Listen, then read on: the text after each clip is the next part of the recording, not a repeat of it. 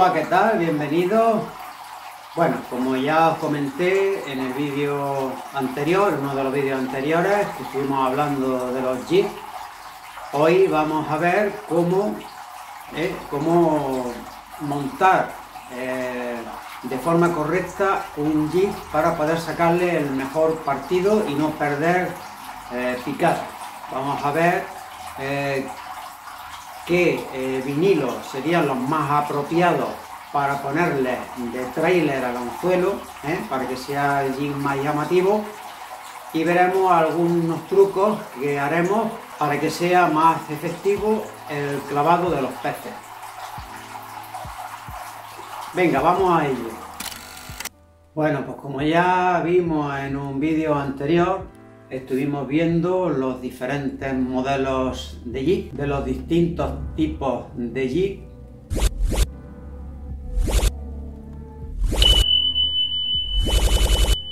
que tenemos a nuestra disposición para diferentes técnicas de, de pesca con este señuelo.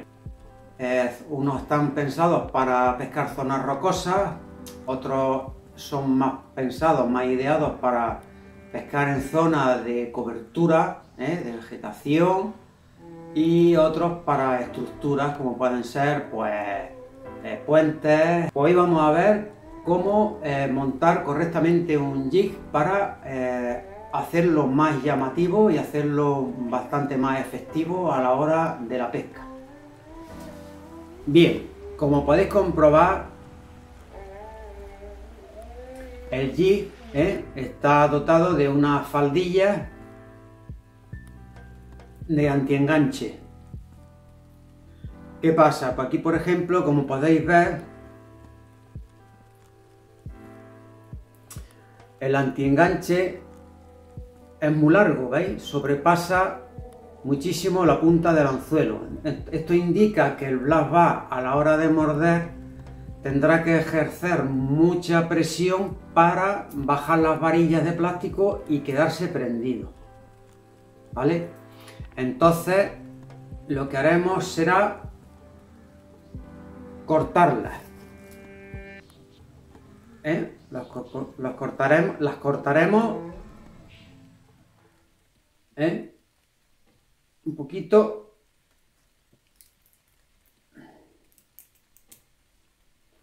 así, ¿veis? ¿Veis? Ya nos han quedado más cortitas. ¿Veis? Y ya con menos fuerza que ejerza el pez, pues quedará libre la punta del anzuelo.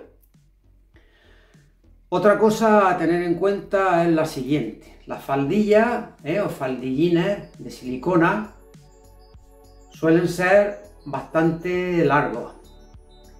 Si ponemos un vinilo, ¿veis? En este caso sería un cangrejo.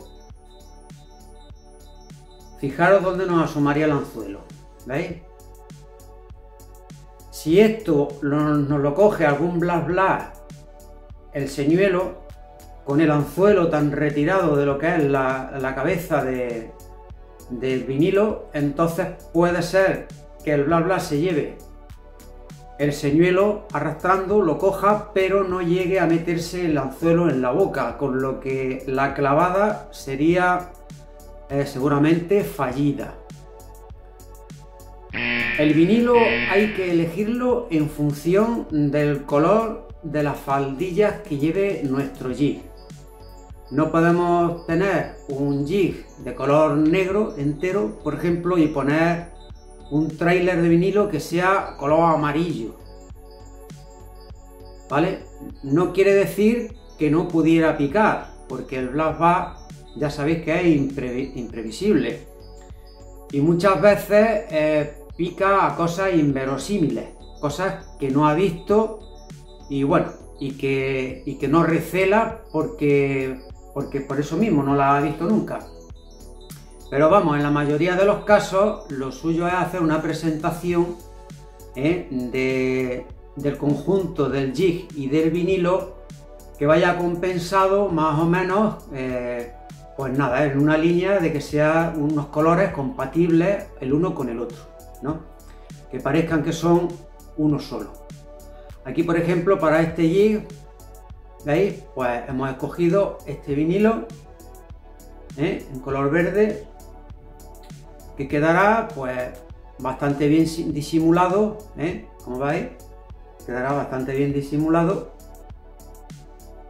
en el fondo. En este caso el cangrejo se nos va a quedar muy lejos del anzuelo, ¿no? Pues entonces cogeremos y aquí veis que el cangrejo tiene, ¿veis? Como unos surcos, ¿eh? como unos surquitos, como, como llevan las orugas, por ejemplo. Entonces nosotros le vamos a quitar tres, ¿vale? Cogemos las tijeras y cortamos por aquí, ¿veis? Así, más o menos. Catapum. Y ahora veréis cómo al clavar el, cangrejo en el jig, pues queda mucho más cerca el anzuelo de la cabeza del cangrejo, con lo que nos facilitará que el pez se enganche. Bueno, vamos a meter el cangrejo. ¿Eh? Flexionamos el antienganche primeramente hacia atrás para dejar el anzuelo descubierto. Y ahora pues metemos el cangrejo.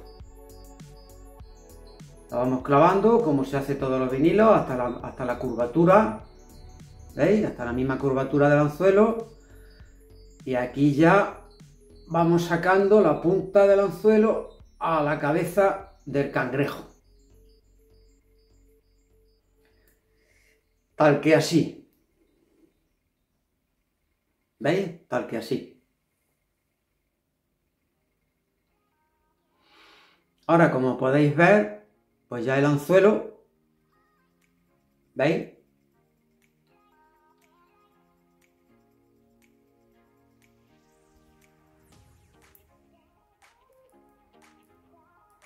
Anzuelo ya queda más a la cabeza del cangrejo, ¿vale?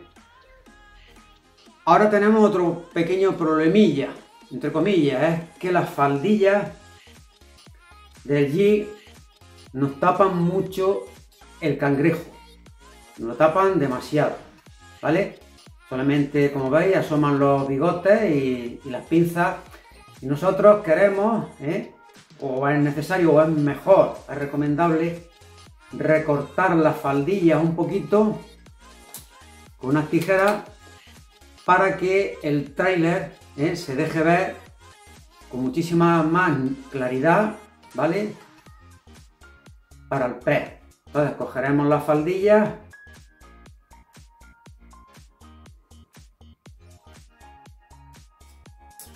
¿Veis? Y con las tijeras,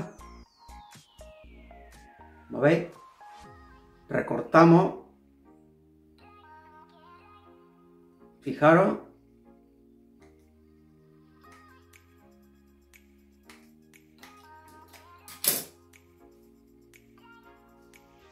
las recortamos un poquito y así como veis el cangrejo ¿eh? pues se ve muchísimo más ¿vale?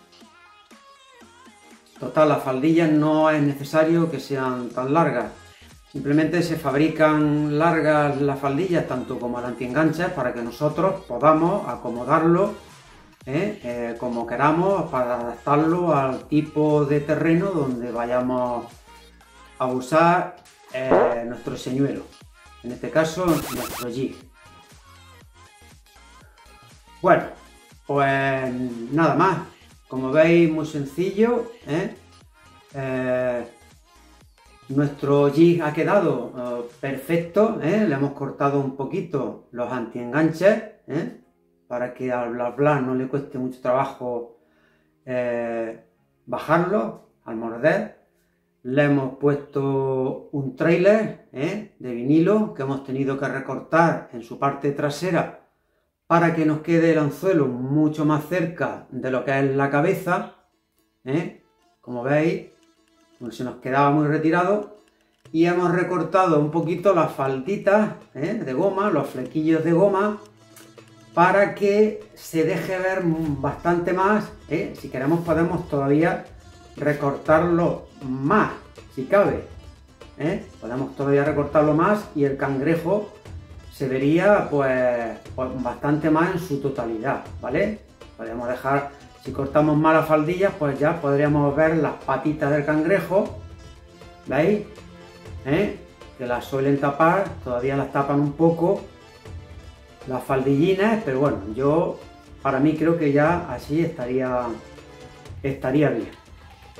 Bueno, pues nada, el jig, eh, un señuelo explosivo, eh, dará peces grandes en la mayoría de las veces, señuelo de fondo por excelencia, eh, salvo alguna excepción de algún modelo que se pueda utilizar en técnicas finas o, algún modelo eh, por ejemplo como el Chatterbait, ¿no? dotado de una pala delantera que nos servirá para moverlo eh, recogiéndolo por el agua, ¿eh? sin que toque fondo. Y este tipo de señuelo, el jig, es muy adaptable a, diferentes técnicas de pesca. Por ejemplo, podemos encontrar un jig en un buzz bite de superficie, ¿no? en un buce ¿eh? llevará unas palas y, lo que lleva detrás es un jig. El spinner bite, por ejemplo, es un jig, ¿vale? Es exactamente igual que esto, ¿verdad? quizás sin la escobilla, ¿eh? la escobilla esta de anti-enganche no la llevaría, puesto que llevaría el arco y alambre, ¿eh? que es lo que haría de, de, anti-enganche, entonces no necesitaría la escobilla. El jig en sí mismo es un señuelo ¿eh? que como veis aparece eh, de, muchas, de muchas formas diferentes en el mercado de la pesca. Tanto en pesca en superficie con el buce, tanto en pesca a media agua, superficie o fondo como es el spinner bite, y también pues como un señuelo de recogida ¿eh? con el que podemos eh, inspeccionar varias capas de agua como es el Chatterbait. Bueno, pues nada, sin más, aquí terminamos el último de los dos vídeos que he dedicado a este excelente señuelo como es el jig. Eh, probarlo, veréis cómo da muy buen resultado y bueno, que tengáis muy buena pesca. Gracias por estar ahí y hasta el próximo vídeo. Chao.